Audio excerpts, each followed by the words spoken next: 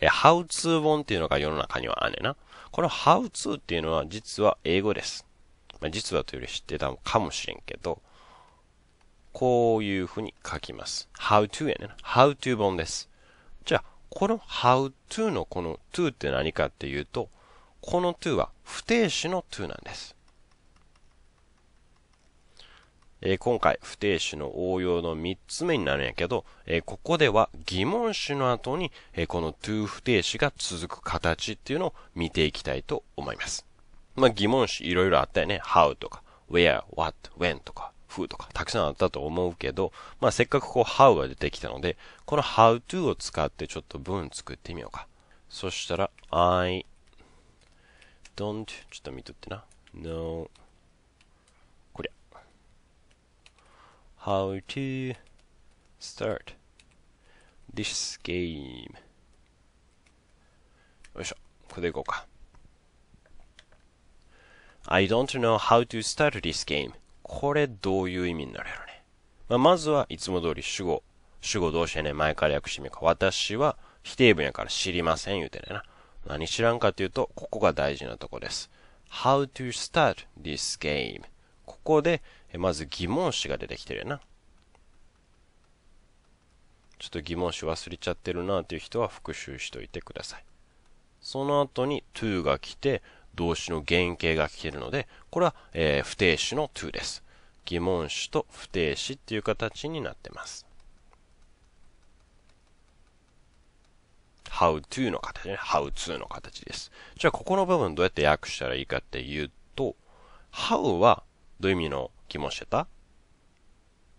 まあ、どんな風にとか、how is the weather? 天気はどんな風ですか？というふうにも聞けたけど、how do you go to school? って聞いたら、あなたはどんな風にして学校に行くんですか？という方法を聞くこともできたよな。この how to 不定詞の時の how は方法を聞く方です。なので、どのようにってことだね。その後にそのまんまこのスタートって意味の単語を続けてください。スタートはこれ始めるとか始まるって意味やな。どのように始める ?this game このゲームを。このゲームをどのように始めるかを私は知りませんってこと。えこういうふうにして疑問詞と不定詞を組み合わせることで、まあ、how の場合やったらどんな風に始めるか。ここが what になれば何を始めるか。ここが where になればどこから始めるか。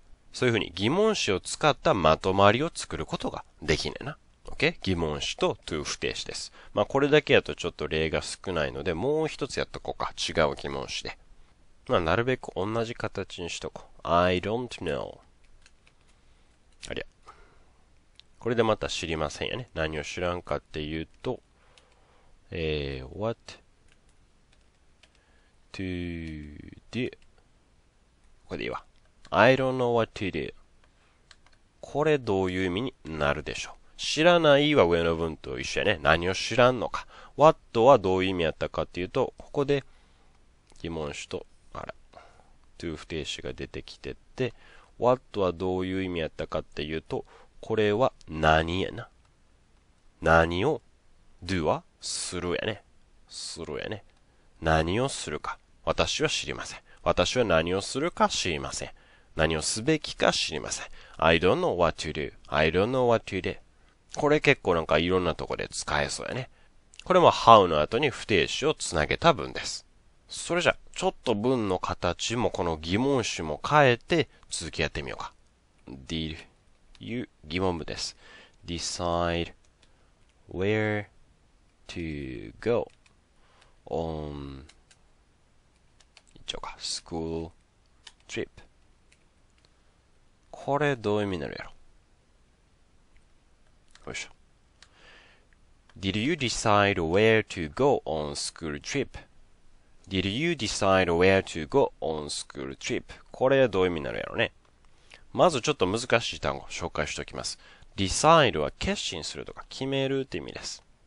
なので、あなたは決めましたかって聞いてねな。え過去形の疑問です。where to go on school trip? ここで、えー、今回の、まあ、テーマというか、やってる疑問詞と不定詞の形でできてねな。疑問詞 where はどこやね。で、to go。go は行くやな。どこ行く、どこに行くかってことやな。どこに行くか決めましたかってこと。on school trip。スクールトリップはこれはまあ遠足でもいいし、まあトリップやから、まあ修学旅行とかもスクールトリップって言ったりもします。なので、えー、修学旅行でどこに行くか決めましたかってことやね。なんかこう、遠足とか修学旅行で、班でどこに行くか選べるみたいな時間あるやな。ああいう感じです。あなたは学校の遠足でどこに行くか決めましたかと。これは where と不定詞が出てきました。こういうふうに、まあ、例文で3つ確認したけど、疑問詞と不定詞を組み合わせることで、ここは where と組み合わせたから、えどこに行くか、何をするか、どのように始めるか、っていうふうに意味のまとまりを作ることができます。で、まあ、風とかも作れるっちゃ作れるんやけど、やっぱり一番多いのは how to です。で、what その後に言うのはこの what to とか、え where to ぐらいかな。まあ、この3つはよく出てくるので、特によく出てくるので、この疑問詞と to 不定詞の形、えしっかりこの語順を整理しておくと。そして自分でも表現できるようになっておいてください。えー、不定種の応用、3つ目の形でした。